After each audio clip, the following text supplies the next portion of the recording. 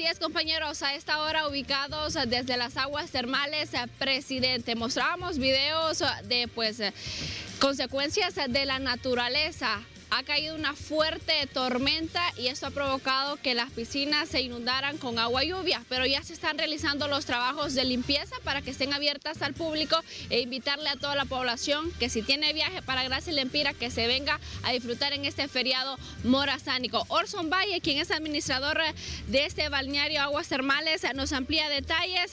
Han recibido apoyo por diferentes instituciones y también por población de la comunidad. Así es, muy buenos días a todos los ciudadanos hondureños e internacionales, este, a todos los termaleros, les digo yo. Sí, este día hemos tenido una fuerte tormenta en la parte sureste, lo que fue la zona de Catulaca y La Campa. Eh, más las tormentas que hubieron en la zona, pues eh, crearon un, fuerte impacto eh, en, las aguas termales. Incluso tenemos algunas tuberías de unos puentes y tuberías quizás de las zonas aledañas que vinieron a parar aquí al balneario Aguas Termales, pero ya se están haciendo todo lo humanamente posible, se está trabajando en coordinación con, con el batallón, 17 batallón, con el coronel Iraeta, con los compañeros de Copeco, con Don Elder, con la alcaldía municipal, con los compañeros también de los bomberos que en unos momentos estarán acá, y entre todos poder eh, tener listo el balneario por lo menos entre una o dos de la tarde.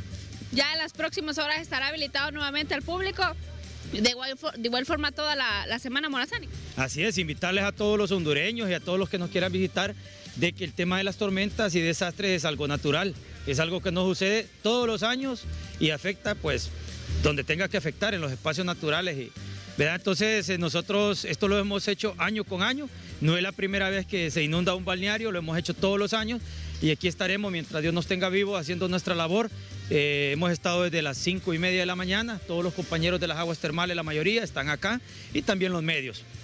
Muchas gracias a Orson Valle, quien es el administrador de aguas termales y mostramos un poco sobre los trabajos que se están realizando, eh, pues eh, trabajando a todo vapor para que estén lo más pronto habilitadas al público y las personas puedan venir a disfrutar.